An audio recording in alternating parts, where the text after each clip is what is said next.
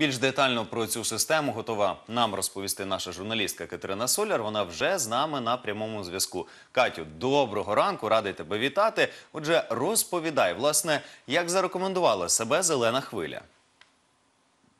Так, доброго ранку, влада. Теж рада тебе знову чути. А, скажу, що щоб зменшити затарове навантаження на головних артеріях столиці, від сьогодні у тестовому режимі впроваджують пілотний проект роботи світлофорів у режимі зелена хвиля. Що це за зелена хвиля? Як вона працюватиме? І на які результати очікують, розкаже нам а, е, начальник служби автоматичної системи управління дорожнім рухом КП «Київдорсервіс» Сергій Полішко. Доброго вам раночку. Тож Доб- розповідайте. Доброго ранку, Киевля. Значит, э, хочу вас порадовать о том, что с сегодняшнего дня мы запускаем э, два маршрута. Это Велика Васильківська, э, значит, э, Антоновича, Жилянского и Саксаганского.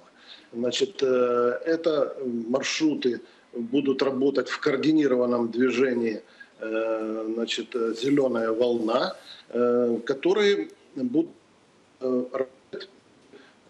прохождение этого данного маршрута 45-50 километров в час.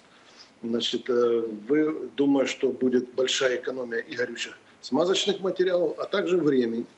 Неделю назад мы запустили в тестовом режиме маршрут, такой же маршрут, но более э, протяженности побольше. Это маршрут э, Тараса Шевченко, э, значит, Леси Украинки и Киквидзе. Тоже он на сегодняшний день работает в тестовом режиме, показывает пока нормальные результаты.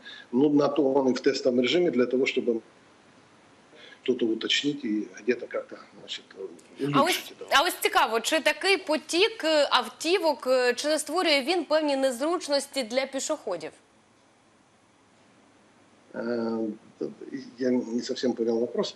Э, Значит, э, э, Чи зможуть пішоходи перейти дорогу, якщо буде а, зелена конечно, хвиля? конечно, здесь Но при наличии пешеходных переходов отрегулированы специальные промежутки времени, э, достаточно время для того, чтобы перейти в нужном необходимом месте пешеходом. Обязательно учтено, обязательно, в обязательном порядке.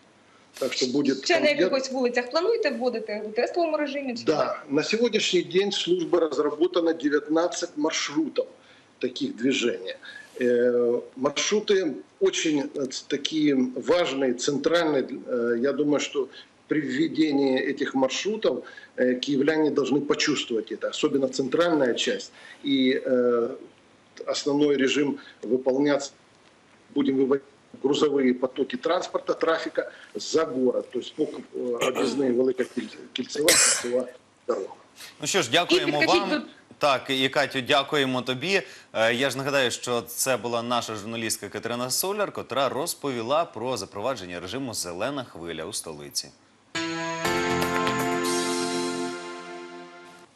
На календарі у нас вже 2 серпня, і цей день 1936 року було рекордно спекотно. Тоді метеорологи зафіксували плюс 34 градуси. Ось найхолодніше було 1945-го, коли температура повітря опустилася до 10 градусів вище нуля. Ну і традиційно відзначимо, що світловий день сьогодні становитиме 15 годин і 12 хвилин. Сонечко зійшло 2 серпня о 5.27, а зайде о 20.39. Ну і власне, якою ж буде температура повітря протягом цього часу, розповім вам вже за мить. Отже. На заході сьогодні в день прогнозується дощ із грозою. Стовпчик термометра покаже в денну пору плюс 26, вночі опуститься до плюс 18.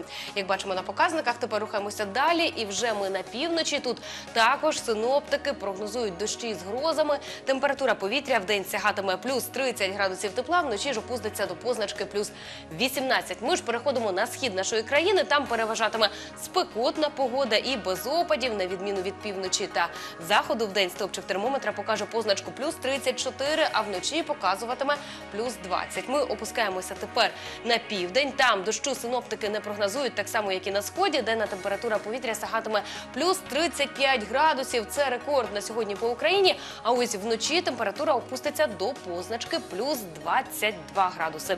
Ну і врешті про погоду у Києві у нашій рідній столиці. Тут сьогодні очікується дощ із грозою. У день ртутний стовпчик покаже, як бачимо, плюс 29 градусів градусів. Вночі ж він опуститься до позначки плюс 20.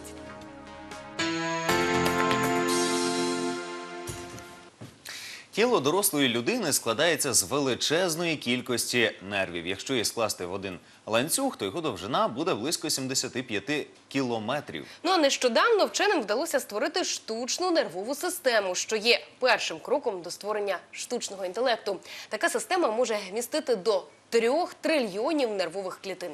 Свого часу досить значний внесок в таку галузь, як нейрогістологія, що вивчає будову нервової тканини, зробив наш співвітчизник Олександр Леонтович. Про його життя дивіться далі. Олександр Васильович Леонтович народився 1 листопада 1869 року у Києві. У 1893-му закінчив Київський університет, після чого працював на кафедрі фізіології цього ж закладу. У 1899-1913 роках працював у Київському політехнічному інституті. А після 1913 року завідував кафедрою фізіології сільськогосподарських тварин Тімірязіївської сільськогосподарської академії. Згодом у 1936 році став завідувачем відділу нормальної фізіології Інституту клінічної фізіології Академії наук Української РСР. Основні праці Леонтовича присвячені гістології та фізіології периферичної нервової системи. Він вивчав явища фізіологічної дегенерації і регенерації структурних елементів нервової тканини, що відбуваються протягом життя організму. Висунув гіпотезу про функції неврона як передавача струму дії шляхом індукції з одного неврона на інший. Цей погляд є однією зі спроб пояснення природи нервового імпульсу, виходячи з аналогії його з електричним струмом. У своїх дослідженнях Леонтович користувався вдосконаленою ним методикою забарвлення нервової тканини метилиновою синню. Помер вчений 15 грудня 1943 року і похований у Москві.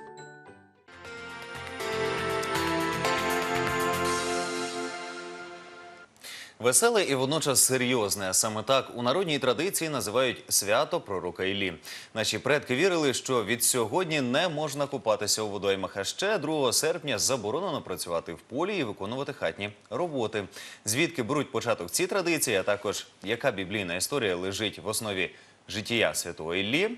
Про це маємо нагоду запитати просто зараз. Вітаємо у нашій студії священика трапезного храму Софії Київської, отця Івана Сидора. Доброго ранку. Доброго, Доброго ранку. ранку. Отже, дякуємо, що завітали до нашої студії. Власне, як Влад уже зазначив, давайте на початку нагадаємо для наших телеглядачів, які моменти стали основоположними у житті святого Іллі. Е, Ну, е, потрібно розпочати з того, що святий пророк Ілля це є старозавітній пророк, тобто той, який жив до народження Ісуса Христа. І дійсно вважається найбільшим з пророком. І, зокрема, в Біблії знаходимо дуже багато свідчень. Про нього пишуть третя, і четверта книги царств, книга Макавеїв, Ісуса Сирахового, Євангелії. Е, Євангелисти оповідають про його життя, тобто детально можна дізнатися про його життя. І з таких основних моментів ж- з життя святого пророка Іллі можна розпочати з його народження, що його батько бачив е, таке знамення, що блаженні мужі огортали новонародженого младенця Іллю вогнем і годували полум'ям. Тобто вже було зрозуміло, що святий пророк буде пов'язаний з такою, скажімо, стихією, як вогонь. І все своє життя він дійсно мав полум'яну віру. Він був один, який вірив в істинного Бога навколо язичників, і він не зламався. Тому е, в перекладі ім'я Ілля означає кріпость Господня. Знаємо, що святий пророк воскресив е, сина е, хлопчика. Також знаємо, що він більше е, свою частину життя проводив в постелі. Його годували птахи небесні. І святий пророк також відомий е, тим, що був забраний на небо живим. Тобто він не помер тілесною смертю, а знаємо, на вогненній колісниці був забраний на небо і помазав як свого наступника пророка Єлисея.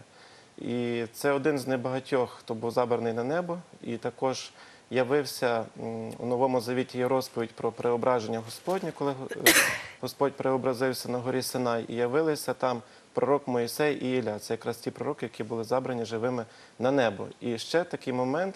Е, Серед отців церкви є е, така думка, що саме святий пророк Ілля буде предтечею страшного суду тут на землі. Тобто він буде е, повернеться на землю, буде проповідувати, помре вже тілесною смертю, і від, тоді відбудеться страшний суд. Ось такі моменти. Власне, чому 2 серпня відзначається свято? Ну е, важко сказати, що саме в цей день була якась така відома подія в житті пророка Іллі, чи він народився, чи помер. Просто традиційно в церкві встановлена саме ця дата. Так само, як ми і не святкуємо конкретну дату там, на- наприклад, святителя Миколая 19 грудня. Також невідомо, коли він упокоївся. Але да, традиційно е, 2 серпня е, почали святкувати це свято.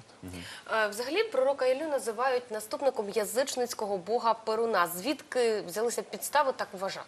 А оскільки в Київській Росії було поширене язичництво, яке е, з часом викорінилось, тому що прийшло християнство, князь Володимир прийняв християнську віру. Тому часто ці язичницькі боги переплітаються або хотіли переплітати з християнським Богом і з християнськими святими. Тому для православної церкви це немає нічого спільного. Тобто ми відкидаємо будь-які там думки, що він наступник Бога Перуна. Це просто вже люди для себе придумали. Так само можна сказати, як традиція, що після свята пророка Іллі можна вже купатися.